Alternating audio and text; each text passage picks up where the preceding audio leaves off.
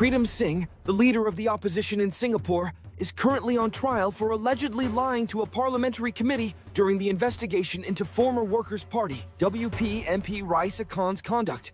The trial, which began on October 14, 2024, revolves around two charges Singh faces under the Parliament Privileges, Immunities, and Powers Act.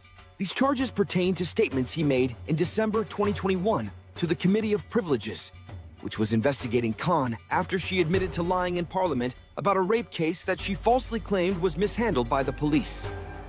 The prosecution argues that Singh misrepresented his actions regarding how he advised Khan after learning of her falsehoods. Specifically, it is alleged that Singh had guided Khan to maintain the lie instead of clarifying it in Parliament.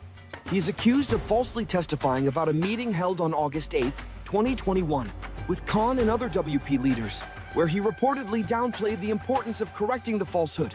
The trial is expected to last several weeks, with key witnesses including former WP chief Low Thia Khiang and Khan herself. If convicted, Singh could face jail time, a fine, or both.